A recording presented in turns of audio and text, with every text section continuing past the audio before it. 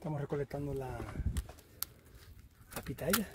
Siempre es bueno recolectarla con, con tijera de poda, siempre desinfectada, para, que no le entre hongos en el corte y eso. En este caso esta variedad es la, la burbusi. Ahora, eh, todas estas que están a partir de ahora aquí, esta, es otra variedad. Esta variedad es sacada de, semilla y la verdad que no, ni, ni, le he puesto nombre, es una variedad eh, entre comillas nueva y la verdad que es muy buena de comer. Eh, es roja y es bastante dulce. Y lo bueno que tiene es el tamaño. Bueno mi, mano que es bastante grande. Vemos pueden llegar a pesar hasta, hasta un kilo. Y es bastante buena.